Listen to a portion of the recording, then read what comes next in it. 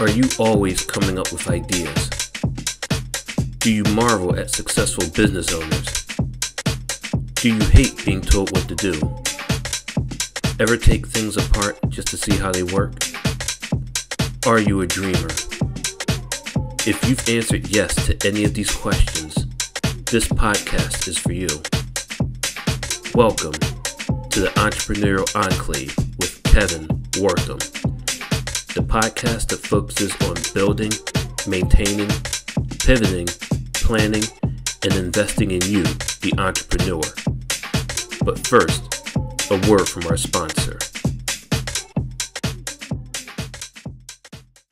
Pro Tapes and Specialties is the world leader in tape manufacturing and specialty conversion with over 40 years of experience. In addition to our pro brand of high quality specialty adhesive tapes, we provide contract converting services that help improve your profitability, streamline your supply chain, and reduce inventory cost. We offer the most complete range of converting capabilities in the industry, such as cloth tape, double coated tape, specialty tape, paper tape, masking tape, vinyl tape, carton sealing tape, adhesive transfer tape, duct tape, foam tape, electrical tape, filament tape, foil tape, reflective tape.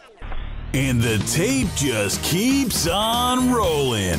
Visit us online today at www.protapes.com or call us at 800 345 0234. Pro Tapes, it's just how we roll. Welcome, welcome, welcome to another fantastic episode of the Entrepreneurial Enclave Life's Coming Attraction. Today, man, ladies and gentlemen, I'm going to hit you with the double, with the double, with the double. Dr. T and your daughter, Laura, is on the line. Laura, talk to me. How are you today? I'm great. Thank you. How are you? Fantastic. Man, this is going to be a great interview. There's so much excitement, so much enthusiasm in your voice. So let's let's do this. Let's start off from the beginning. How did I meet you? I mean, besides meeting your mother and father, how did I meet you? well, first off, we go to the same church, so. Oh, I didn't know that. No, okay, yeah, of course we go to the same church. hey, Doctor T, uh, she wants to be a comedian too now, huh?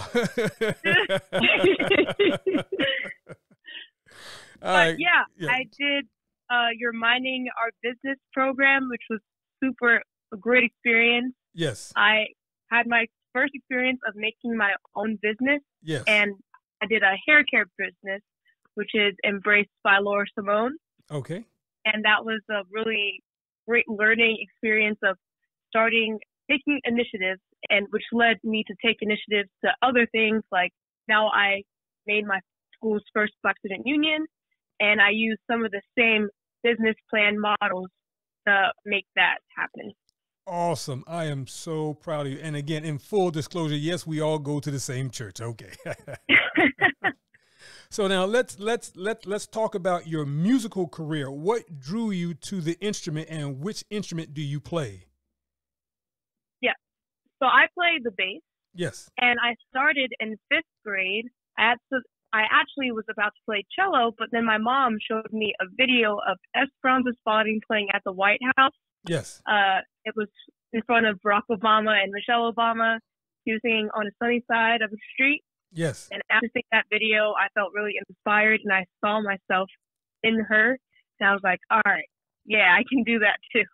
Wow. wow. So you are a junior or a senior in high school now?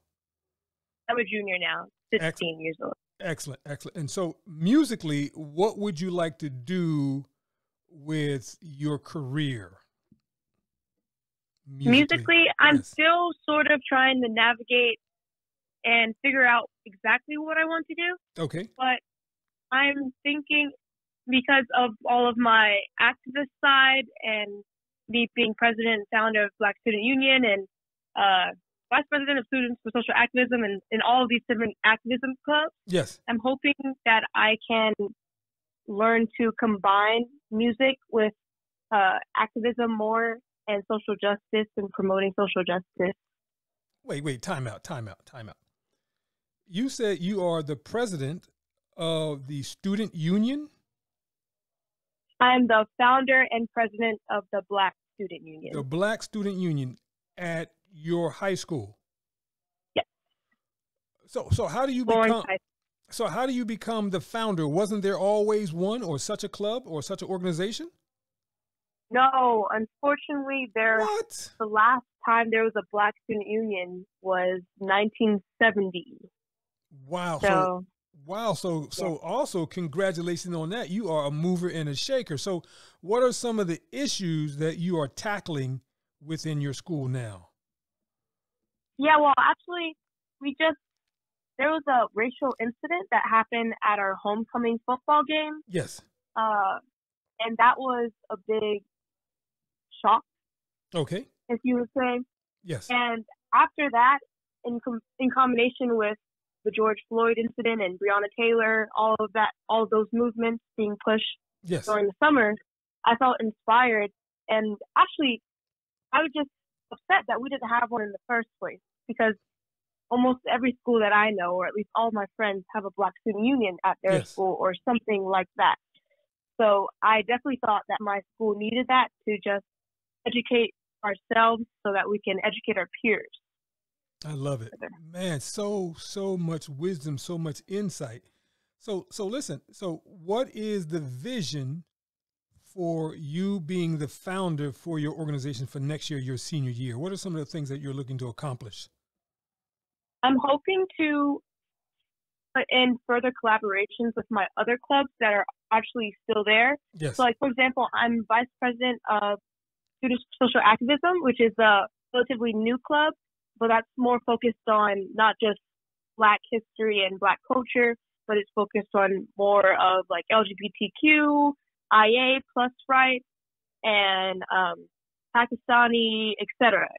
Uh, okay. so I'm really hoping that we can further do more collaborative events together, yes. and I can try and reach out to different groups. Like, for example, we've had uh, during Black History Month, we we as in Black Student Union collaborated with STEM Academy, Yes.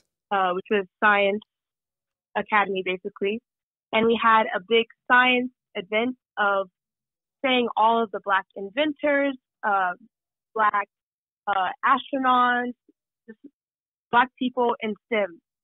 Awesome. So I'm Awesome. hoping to have a lot more of that. Now let's let's go a little further. Collegiately, where would you like to go to school? What would you like to major in? And does music still uh, hold? Um, I guess does, Yeah. does music still hold uh, a future for you? Yes. Okay. Um, I'm looking. I'm okay. So I'm not exactly sure yet, Okay. but I do definitely want to continue with music. yes. um, I'm still sort of trying to figure out how I can combine my different lives because I think a problem with me is that I have so many different passions that it's hard to choose exactly just one to try and focus on. Yes. Um, so I think the easiest thing for me right now to think about doing is trying to major in music and then after I get uh, my music career started or further developed, I can then bring in different um, different thoughts of what I want to do, like bringing in activism and music, bringing in all of the different social justice things that I want to accomplish. I've got one for you. Ready for this one?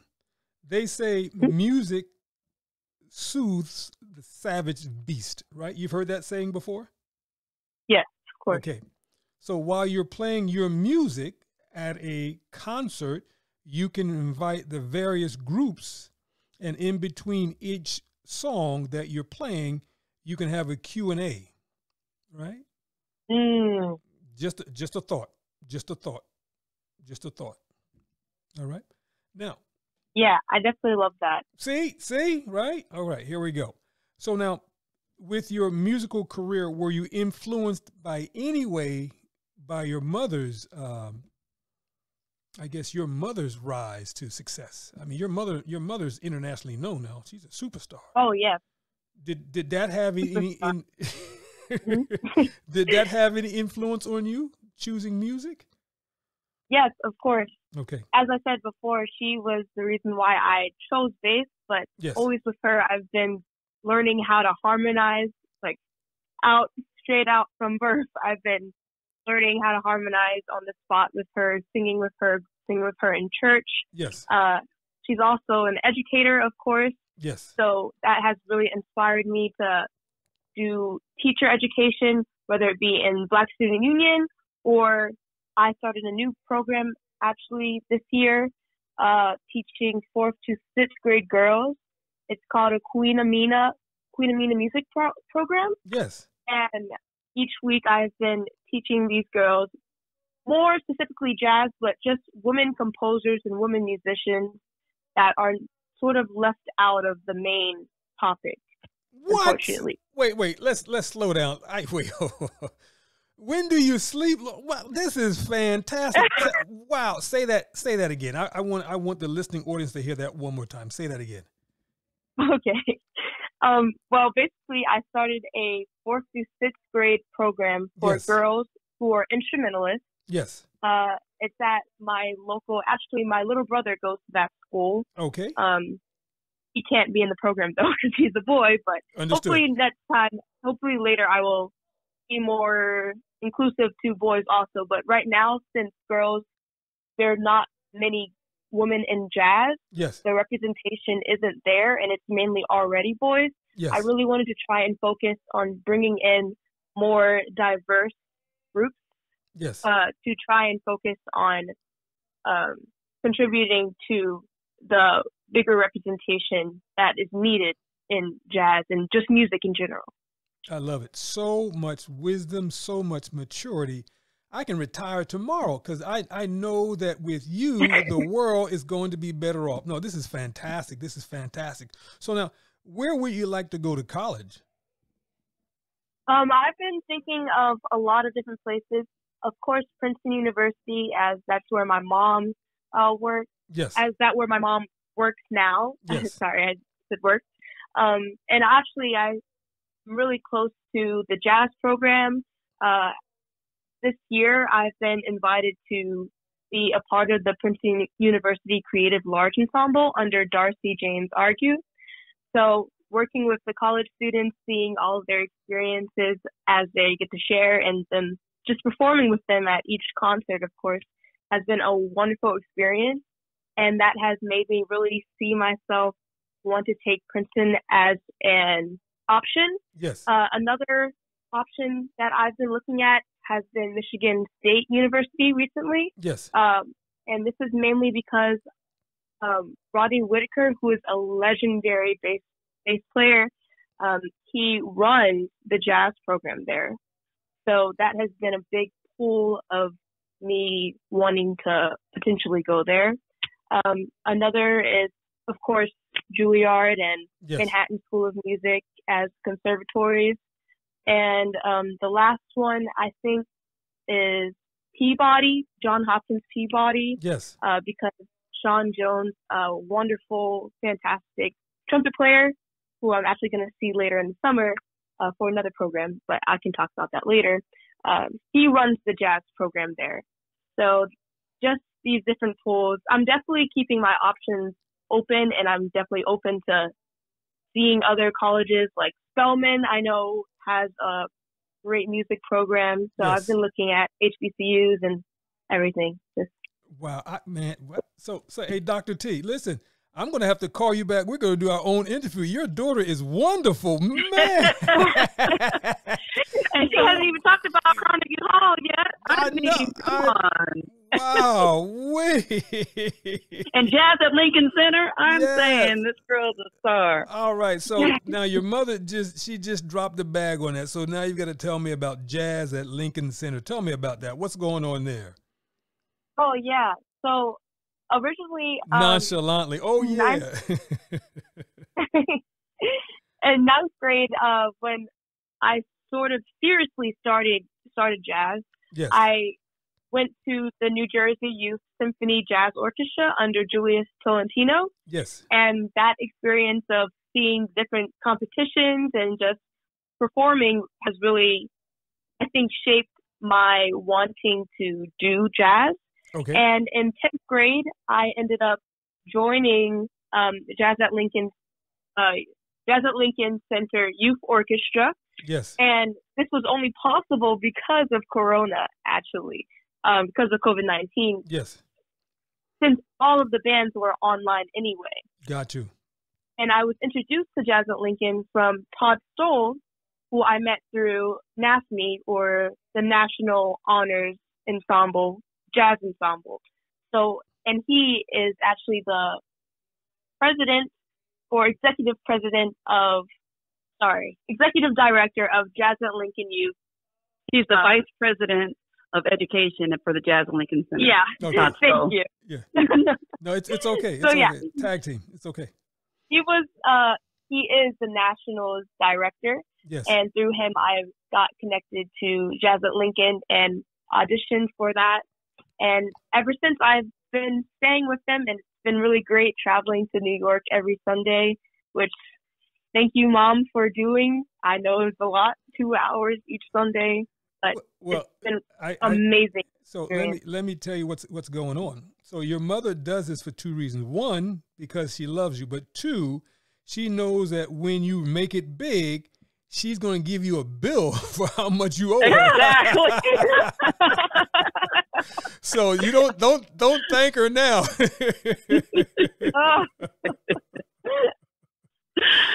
Man, that's that, listen. That is fantastic. That's nothing but dedication. Now, I want to ask this question, and I want to see if this is possible. Within your short-lived jazz career, do you see how music can kind of solve some of the social injustices that we face? oh yeah, for sure. And uh, just acknowledging the past Yes. how much uh, music had to do with the civil rights movement, yes. whether it be um, Max Roach's work or- with Abbey Lincoln, their album The Freedom Suite, or just Mahalia Jackson and Duke Ellington, who worked very closely with Martin Luther King, and um, Louis, Louis Armstrong, who broke barriers for Black people, um, integrating audiences, just et cetera, like that. yes. I definitely see the um, correlation there. Now, now you also said that you sing, right? What is your particular Mm-hmm. genre of singing? It's is it more gospel, uh, or is it or is it just Negro spiritual? What what was that? How would you classify that?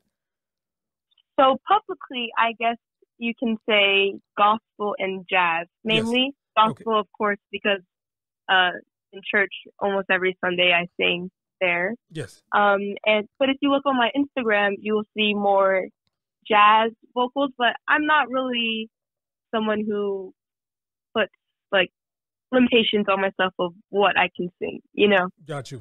Got you. Fantastic. Listen. It's, so is there, I mean, before I, I switch over, I still want you to hang out, but before I switch over to your mother, any shout outs you want to give to any anybody that uh, may perhaps listen to this? Oh yeah. Um. Well, I forgot to mention the Jazz at Lincoln Yes. Center Youth Orchestra is directed under Tatum Greenblatt, who I love dearly. He's amazing. Um, Sean Jones, who I mentioned before, Yes. he's definitely a big inspiration. Um, that was actually what I was talking about. Uh, the summer program Yes. that I recently found out I got into. Um, it's called NYO Jazz or the National Youth Orchestra Jazz Ensemble. Yes. And under that, I will be performing at Carnegie Hall July 28th, which I'm super excited about because I have never been to Carnegie Hall before. So the fact that playing is my first time that will that will be me being there is just absolutely insane to me.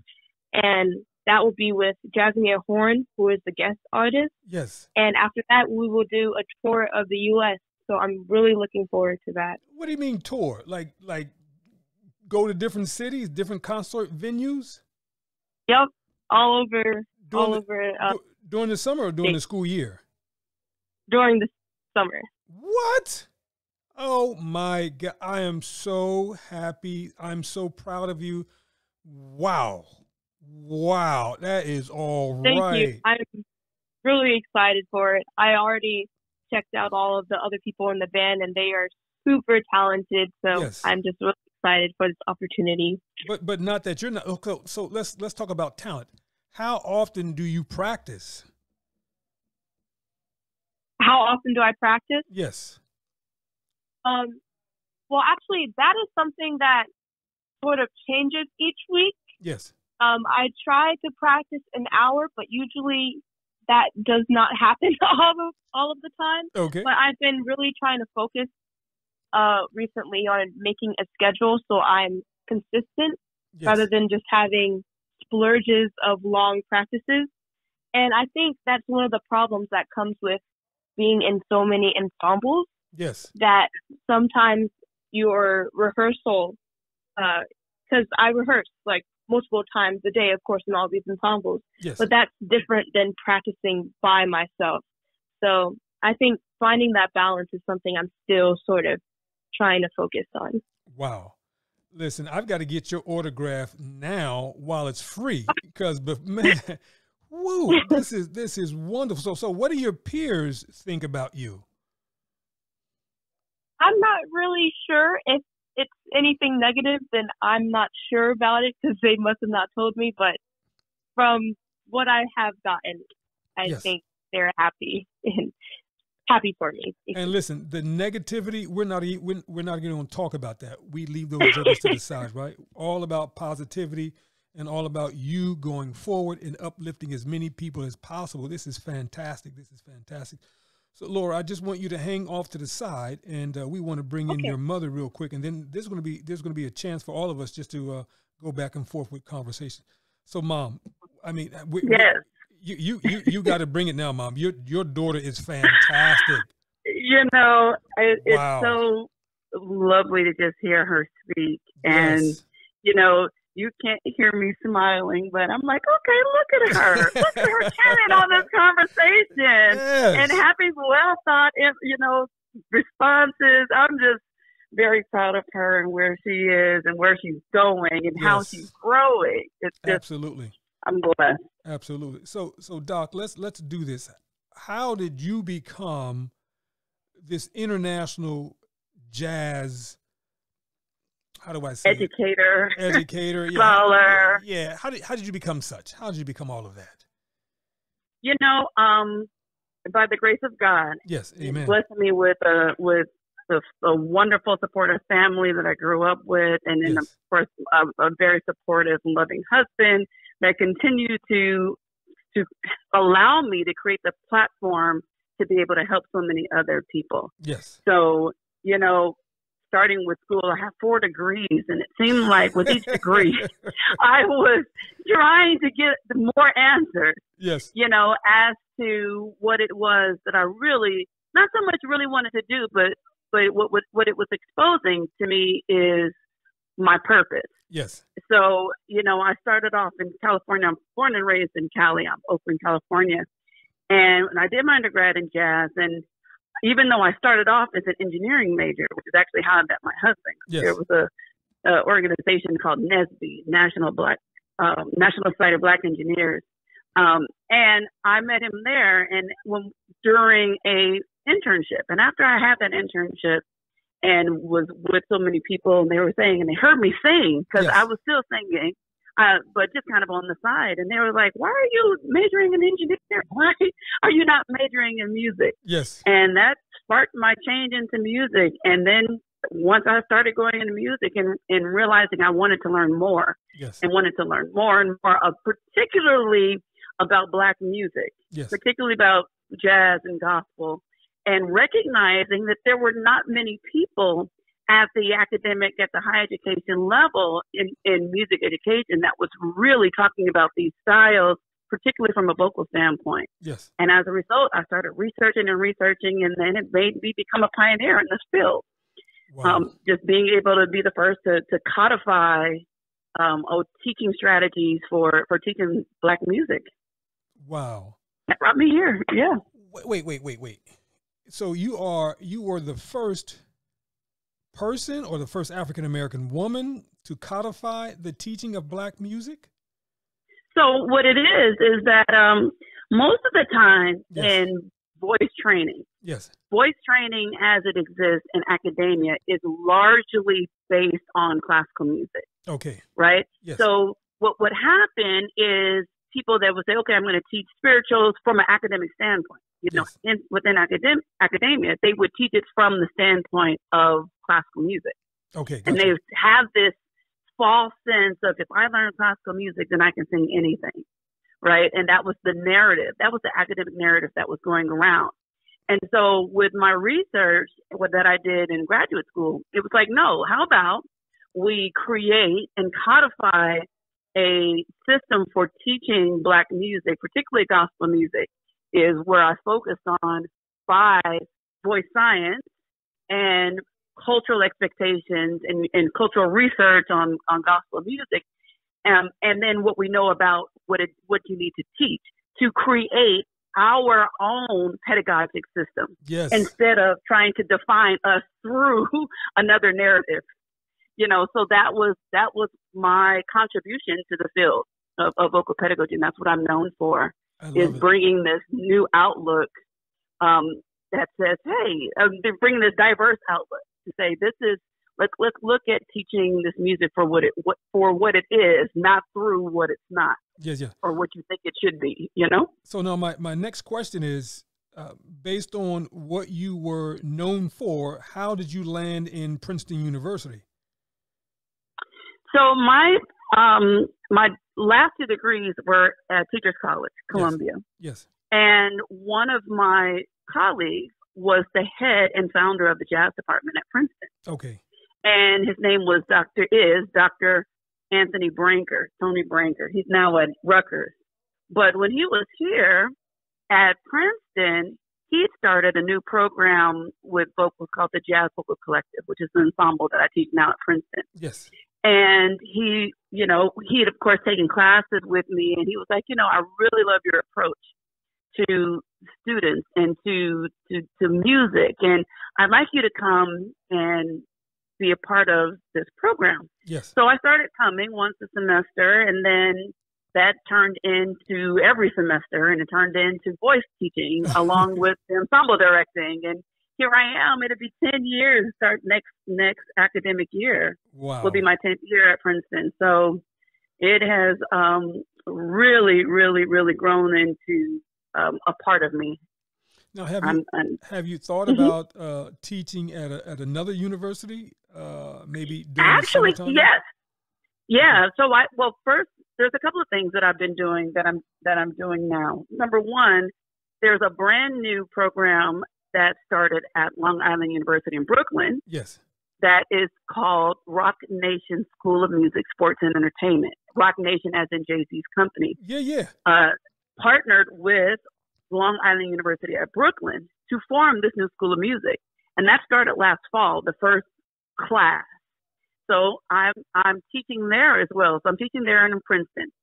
And then in the summertime is when I'm usually doing a lot of my teacher training stuff, my teacher training program. I'm doing a lot of traveling, a lot of clinician work, um, both internationally and domestically this summer, and particularly now that the borders are, everything is back.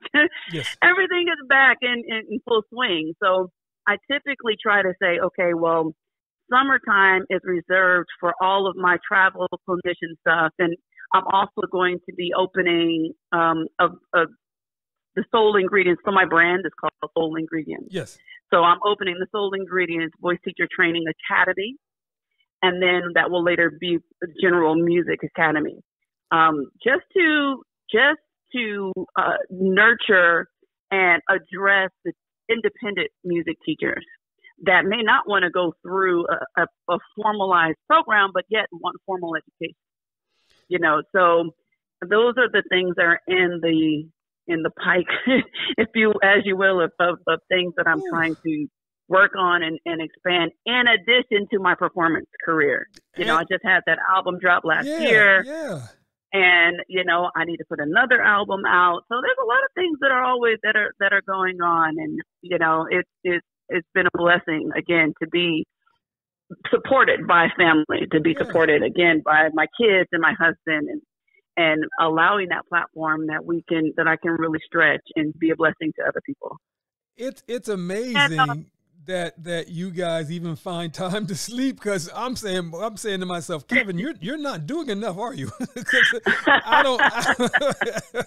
wow, I- this it- is it- fantastic. We, we laugh all the time. We say the Martin House is always going, but Yeah. somehow we find ourselves at the dinner table together. awesome. somehow, you know, on purpose. now, Now, Doc, same the same question that I, I asked your daughter, but at, at, certainly at a much higher level. In terms of Princeton University, uh, do you and have you experienced social injustice, and how are you working through it with your music or in the music department?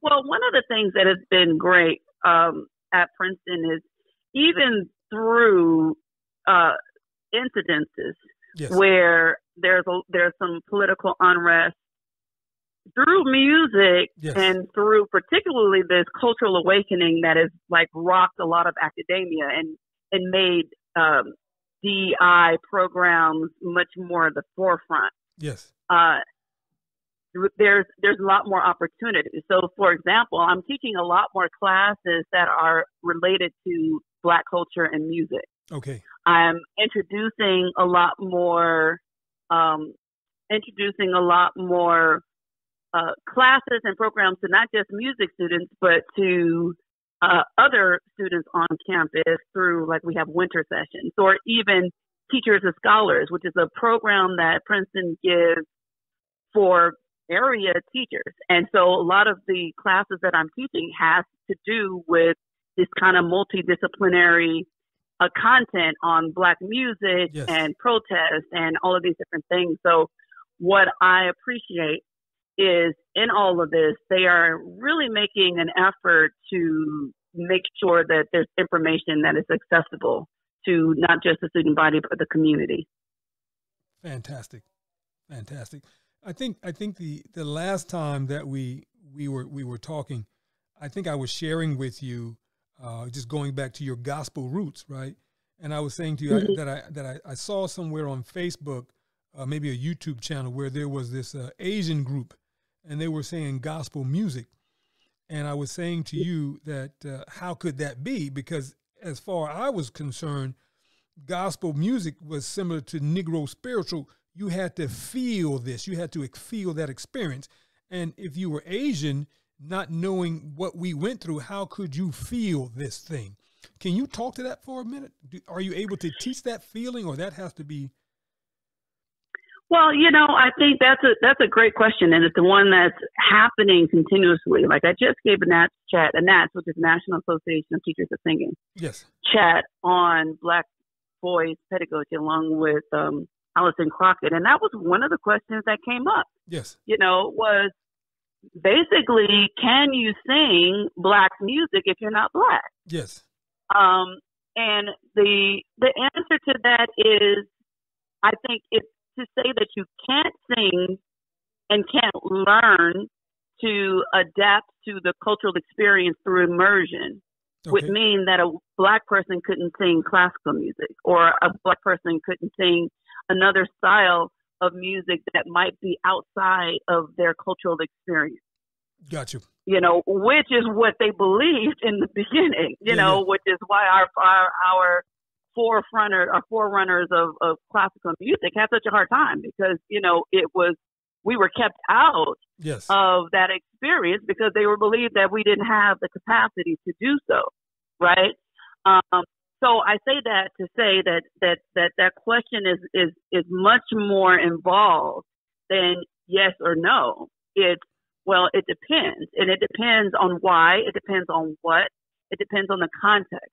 Okay. A lot of the things that I teach now have to do with the difference or the continuum that exists between cultural appropriation, cultural appreciation, and cultural adaptation and understanding that we are in these different continuums all the time when we're looking at culture and we're looking at music. Yes. The issue becomes when it's when it's monetized. Yes. Right? If yes. I'm monetizing at when when this a non-black person is is being monetized and celebrating our culture when the people that within the culture are not getting those same monetizations or yes. platforms. Yes. That's where it becomes like, oh, you know, but not so much. But I, I, for me personally, and where I am in my life right now at this moment, um, it, it would be hard for me to say no. You can't sing just because you're not black or just because you don't have the collective memory. Yes. Now it sound it may sound different, um, you know, but I my goal or my hope is that you will learn my culture yes. and you will still learn to appreciate it yes. and learn to celebrate it Yes. and by and by singing this music versus just taking the surface level and kind of running with it. So Yes. that's where I'm sitting on it right now. Again, this could this could evolve, but this is where I am now, and, and, and particularly because I'm as a cultural activist. Yes. You know, I'm, I'm like, no, we are we are all beautiful, and I think we need to experience each other's culture so that we can appreciate it. Absolutely, I, I certainly do agree with that. So now, where do you where do you see yourself in in three years from now? Uh, how many albums have you have you put out, and and who would be one of the greatest uh, living jazz musicians that you would love to perform with? That's a great question. I think in three years from now, I would I should be working on my third album Okay. um, because I'd like to get the next one out within the next year. Yes. Um, but believe it or not, I'm looking to shift not just from from jazz, but shift into celebrating black music in general Okay. and shift more into being a recitalist. I have a dream project that I'm putting out into the atmosphere, Okay. which is a concert called If They Were One, Mahalia Jackson, Sarah Vaughan, and Jessye Norman. Ooh. So, you know, if that that would be my dream project, Yes. you know, three years from now, that could be something that I would tour with, that I could do with an orchestra Yes. as well as with a small group and just going to art cultural centers or, or large venues. So I'm I'm really interested in doing those kinds of things more so than yeah I'm just trying to you know get a Grammy or I'm just trying to get it. I'm more trying to bring all of the academic learning and the cultural learning that I'm doing and been trying to share within academia Yes. but to bring that to the to the public stage and to put things in context and give and feed the people as we would say in church, right? Yeah. Yeah. Give the people something other than just um, ear candy. Just just saying, hmm, let, let let me minister minister to your soul and and show you Yes. um, illustrations of black excellence. But you but you know the Grammys coming though, right? Well, you know, if God, if, if that is in the past, you know, I will open the door for that. You know, but uh, with definitely Yeah. definitely trying to hold hold steady to to my purpose or what I believe my purpose No, is. no, I understand. I'm just I'm just thinking about all the wonderful connections that you're making. You will certainly have the platform for an audience to really hear you to say, you know what, this sister is on to something of greatness. So I I I, I, love it. So for for both of you guys, uh, mom and uh, Laura, Mhm. what has been some of the biggest challenges that you have faced in your musical? Well, for you, Laura, in your musical career, what has some what have been some of the biggest challenges that you had to face or overcome? Go ahead, Laura. I'll let you go first.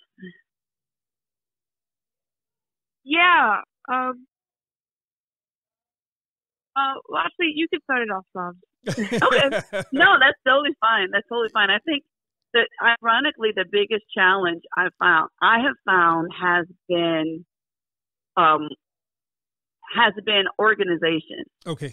and belief in trying like in other in other words trying to decide what what should go first Yes. i don't feel like i've been inhibited by any person or any situation Okay. other than my own self Gotcha. you know being spread too spread too thin or should i say not even spread too thin but but being busy without enough focus to bring things together Got you. And that has been the challenge of overcoming. And I think Laura falls into that.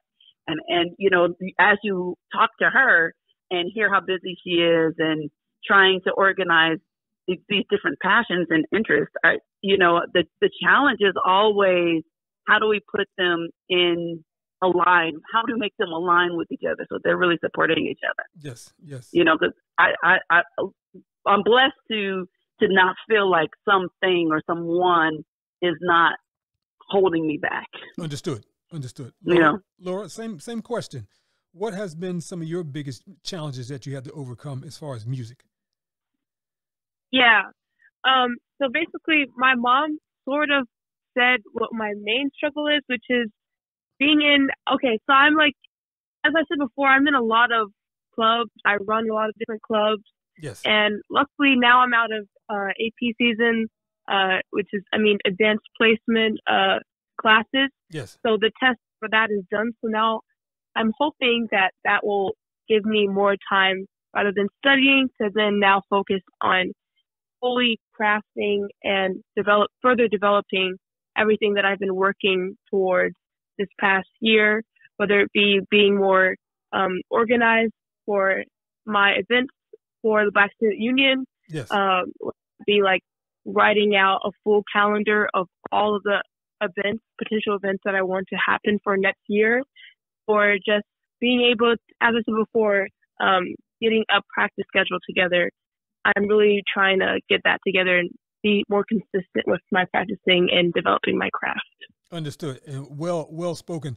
So now, personal question: When you guys are not working or or or, or working on your craft, what music do you listen to, and do you listen to music like of today's people? Uh, Doc, you want to go first with that one? Yeah. Um, ironically, the music that I listen to the most, actually, it's not ironic to you, but it would be ironic to people that don't know me, um, would be gospel. I think gospel music is the only music that I don't feel like I'm analyzing while I'm listening to it. Understood. It's You like you're- know. you're you're more like relaxed. Yeah. Yeah, it's much more relaxed and it's much more, you know, depending on the playlist, the gospel playlist that I'm listening to. Yes. So I tend to listen to a lot of gospel music, although I still like some of the new like jazz singers. Like I'm a big fan of Gregory Porter.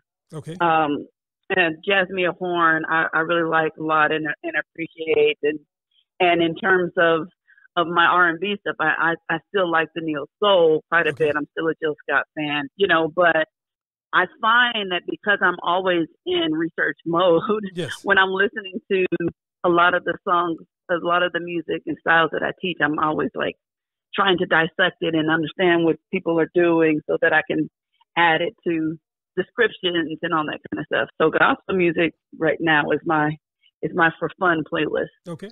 Laura, same question. When you're when you're relaxing, what music are you listening to?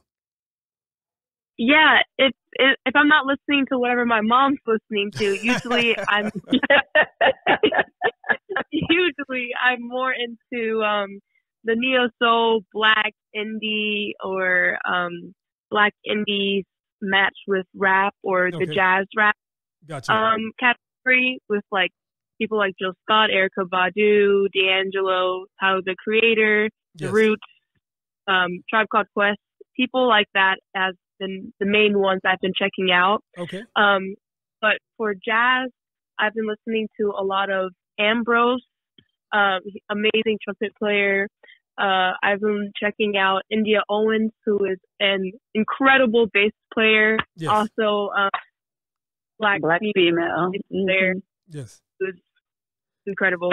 Um, yeah, And un- and unfortunately for me, I've got to um, broaden my musical ears.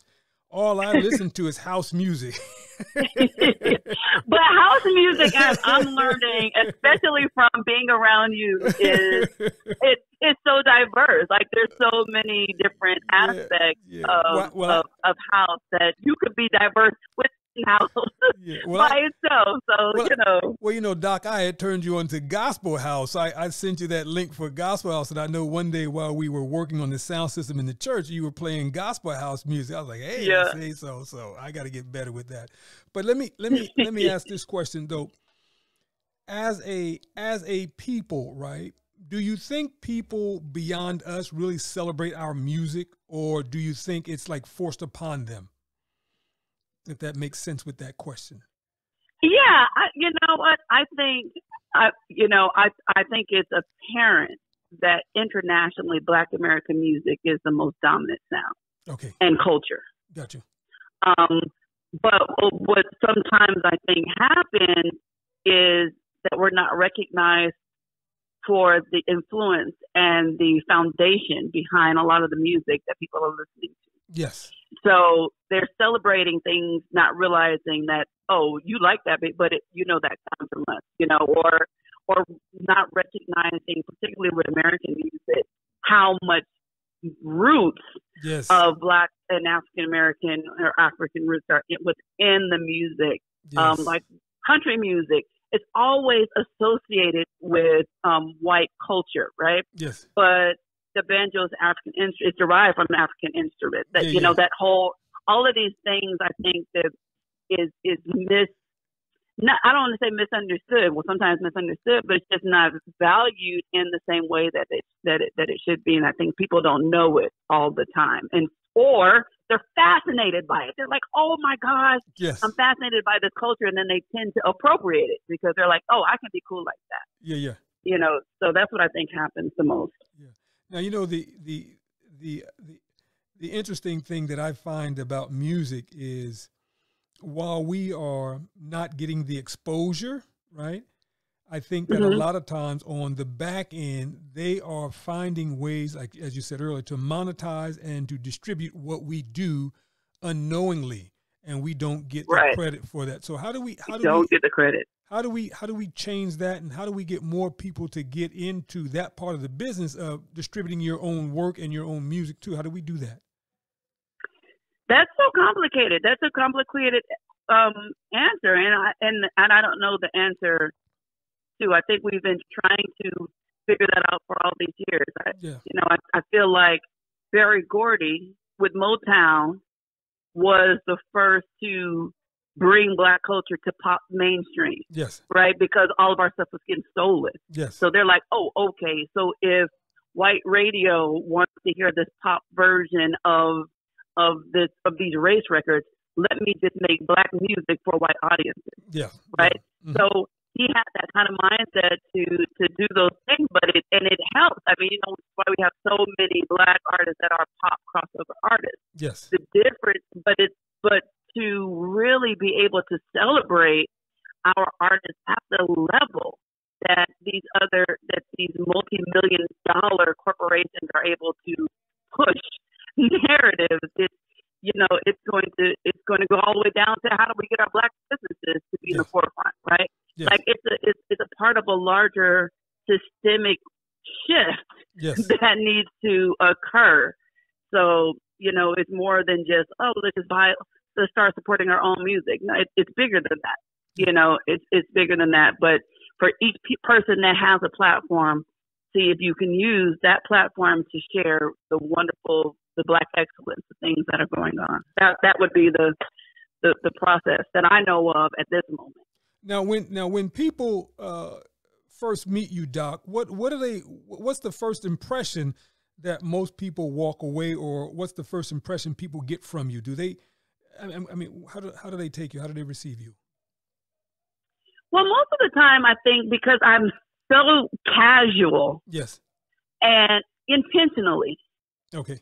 You know, that I, I find people to to to um, let their guards down around me, yes regardless as to their social, economic, or education status. yes You know, I I because I'm unapologetically myself, yes I have noticed that even the most dignified, quote unquote, will seem to be more relaxed.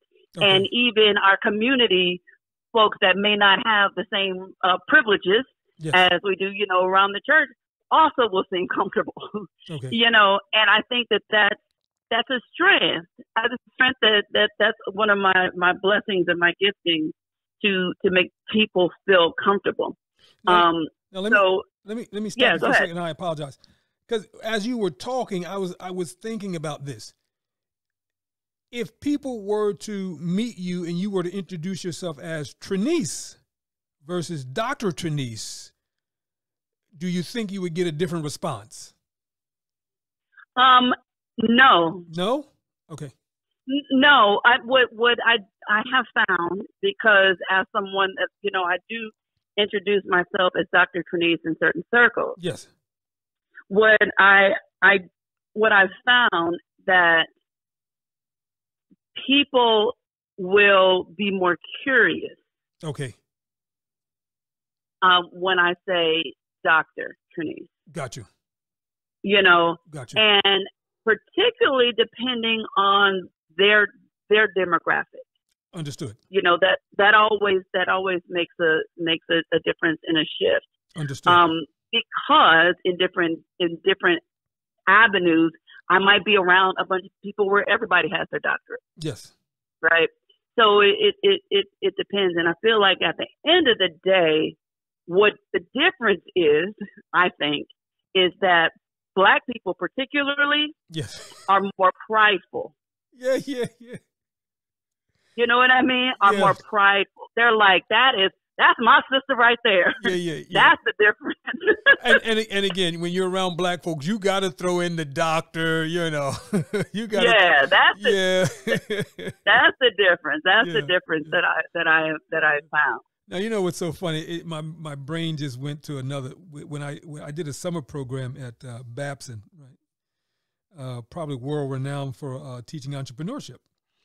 Mhm. And I met this guy, forgot his name, but uh, the, his kids called him um, R2D2 because he had uh, two masters and two doctorates in uh, like entrepreneurship and some other in economics or something like that. But he, this guy was like, he was like, he was just brilliant, but because he was around his colleagues, mostly white folks, he was just low key, right? And Right, I and I right. said to another buddy of mine, I said, if he came around to black folks would they call himself R2D2, they would smack him upside his head because you know they they would not respect him or appreciate him. So you got to you know you got to come with the pedigree. You know, with us, you got to come with the pedigree first. you know, oftentimes. Oh. Yeah, I mean, well, you know, it's funny. I for for me, I haven't really had that. Um, I haven't had that experience in terms of feeling like I needed to. Understood. Ironically, what I needed to prove Yes. for certain demographics is I needed to prove that I can do. Gotcha. So, like going around kids, in order to get their attention, I have to sing, Got you. And then they're like, "Oh, you can talk to me now." Yeah, yeah, yeah. You, oh, she You can know I- sing. She can sing. Right, right. you know, then they're like, "Oh, okay." I, I, you know, college students, college to high school, Yeah. you know, that's where that's that's what that's the kind of things that you need even more than the than than the letters Got behind you. your name. Got you. now, uh, so that that's another question. So in your in your in your um, I guess uh, at Princeton, when you do a class, is that the first thing you have to do with your students? Do you have to sing a song for them, or or let them know that you you you can sing? I mean, is that like unwritten for you, or Well, the interesting thing is because I've been there so long, and a lot of the they they know what I do, yes? so I don't necessarily have to do that as much at Princeton. Okay. Um, coming into like Brooklyn, for example, and then the Roc Nation School, yes. you know, I this was a different demographic, Yeah. and you know, I'll tease them, and I was like, I'll say, Google me, Yes. you know. so you need to know who I am, Google me, Yeah. Yeah. Yeah. go Google, me, and Yeah, then yeah. you'll learn, right? yeah, And so you do that, and then they go, oh, oh, I was checking you out, oh, I was checking out your album, you know what I mean? And then Yes. they have a different demeanor, right? Yeah. so, but yeah, that's that's more so than than anything for me in my experience.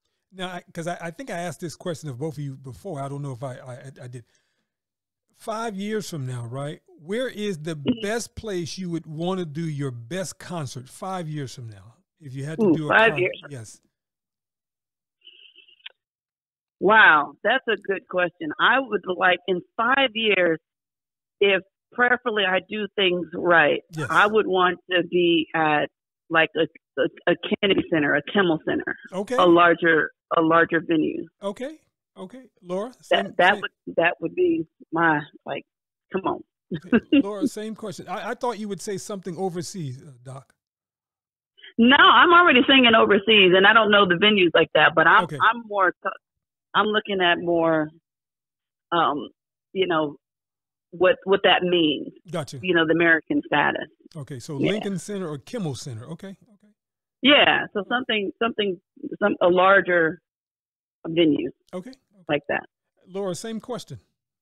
Five years from now, Um, Well, I think the main thing would be just being able to headline. Because fortunately, I've been getting these opportunities to perform at all of these places.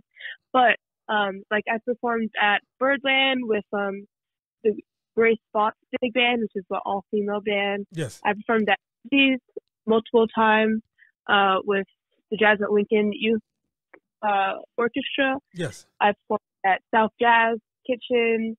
There's been a lot of places that I've had the opportunity to perform at, but yes. my goal is to headline at these places rather than be a part of a group, which is cool too. But Wow. that's one of my main. Now, do, do do do does any one of you guys have an uh, an agent currently? No, we don't. My mom is my agent. Gotcha. Doc, I mean, That do- right. Doc, do you think you need an agent though? I do. Okay. I do.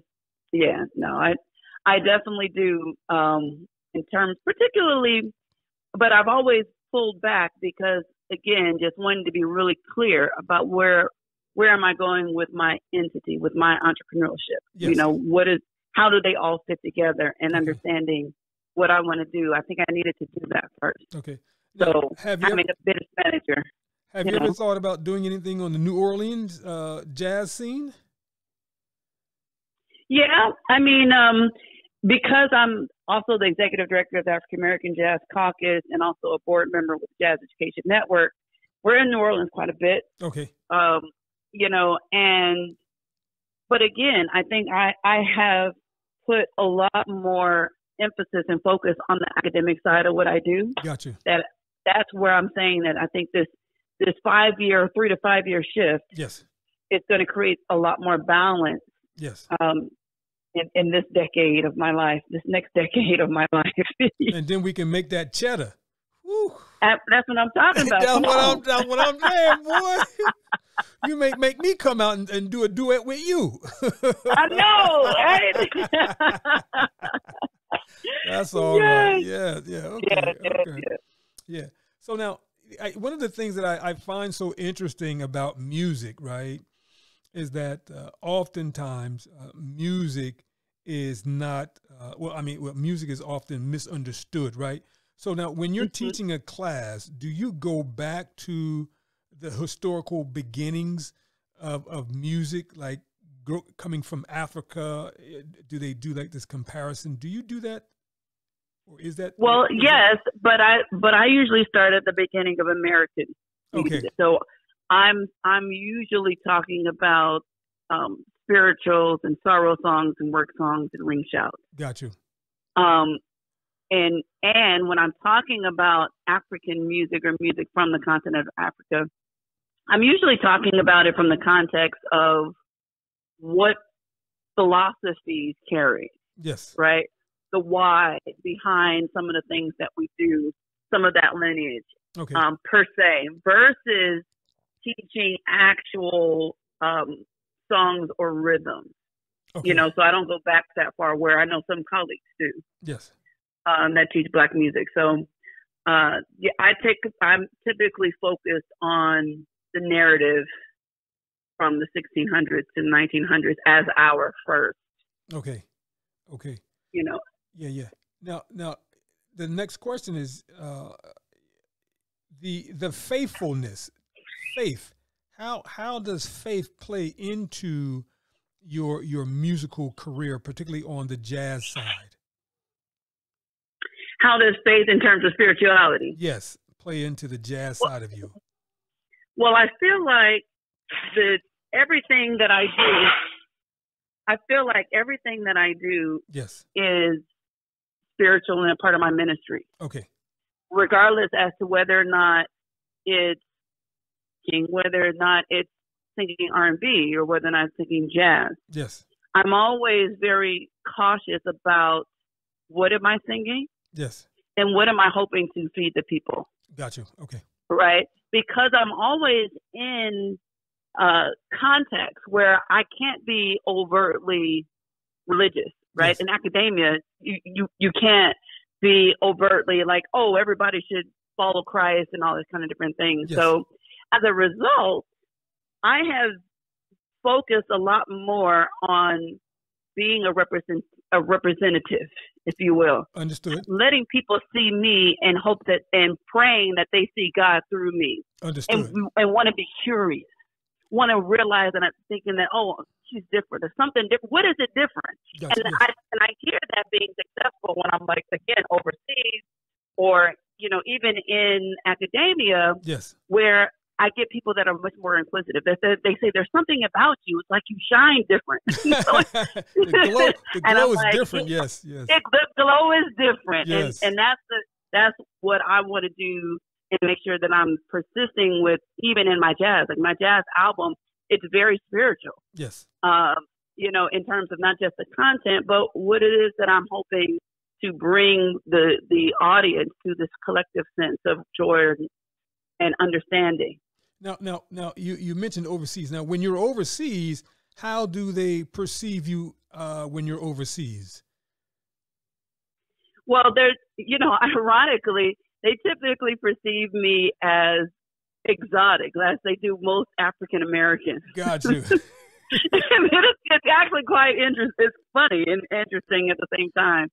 You know, um, in the in the sense of, but at the same time, they they give me so much more credibility. Got you. Yes. Um, you know, as a, a cultural representative. Okay. Um, and and you can also make the argument that my degrees and stuff make a difference. There, you know, me traveling as Dr. Trineice Robinson Martin from Princeton University Yes. has a very different um, connotation. Yes. Then Overseas, Trineice. much Then- more. Yeah, Then Trineice traveling. Yeah. Got you. Now, Absolutely. Now, I, I when when I when I asked about the five year thing, I was I was hoping that I was going to hear a, a mother daughter um, album that was going to drop in five years, if not earlier. Is that is that? Well, I'm?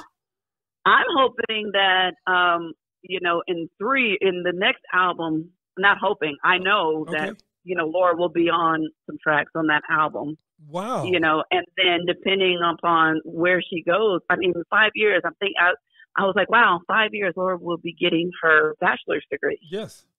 you know, and depending on where she is, it's going to really determine, you know, what's, what's next. And Yes. so I'm, I'm excited and really trusting God on whatever, you know, it, he has planned for us, Yes. You know, and, and, but at the same time being prepared. Under, understood. Understood. Understood. I, I'm t- listen with the with the time that we have left. I, I just want to thank you guys so much. This was this was fun. And uh, Laura, you still there? And- Yeah, I'm here. Thank you so much for having me. Yeah. Oh my God. You guys are fantastic. I am. I am. Uh, I'm. I'm praying nothing but success for everything that you do and your heart's desires. But before we go, I want to give you this platform. Anything else that I might have missed that you would want us to know that you would want to share about your academic career, your music career, and your jazz career? Not to separate those two. I know, but Yeah. go ahead, Laura. I just wanted to uh quick because my mom forgot to. Uh, she kept mentioning her album, but she hasn't said what the album is called. Okay. so uh, you can find that on Spotify or Apple Music, and Yes. it's called All or Nothing. Yes. Uh, just search up Trineice Robinson, and you should find it right away and give it a listen. okay. Yep, and I I would definitely say to just look out for Soul Ingredients Music Academy online Yes. as as something that is progressing, and definitely keep a lookout for for Laura and her all of her accomplishments and the ways that she's going to manifest her spirituality and manifest who she is as a wonderful leader, um, young leader. So Just Yes. keep an eye. Follow us on Instagram, Laura's. Laura, what is your Instagram? Laura Martin. you have to spell it. It's Laura. it's Laura. yes. Um, L A U R A dot Martin, but it's spelled weird because the username was taken. So it's M A R T I I N N N. Wow. and you can follow me at Dr. Trineice, Okay. you know, at, on all social media platforms. But but listen, before before before we drop the episode though, when you guys go to give me your bio, all those links uh, as to how we can stay connected, please please do so, right? And then, Absolutely. And then Doc, when we finish this uh, interview, just text me the link of one of your favorite songs, and I'll post that on my on my site, right? Okay, that sounds Okay. great. Now I, I I, know. appreciate you so much No, no, for no. having us and inviting us to this space. Now you you may not appreciate me after I ask this request. Listen, let's can can you guys end with like a 30 second gospel song that you guys can sing together? Um, yeah, Laura, if why don't you come downstairs um so that we can get on the same Yeah, yeah, yeah. What what, what are we gonna sing? That's a good question. You know, I What are I, we gonna sing? I like Amazing Grace. Oh. He said he likes Amazing Grace, and she said she likes her side on the sparrow. Who? His eye is on the sparrow. Okay, okay. It's it's your show. Take it away then. Yeah, go ahead. All right, Yeah, go yeah. ahead, Laura. Why should I feel discouraged? And why should the shadows come? And why should my heart feel lonely and long for heaven and home? When Jesus is my portion, a constant friend is He. His eye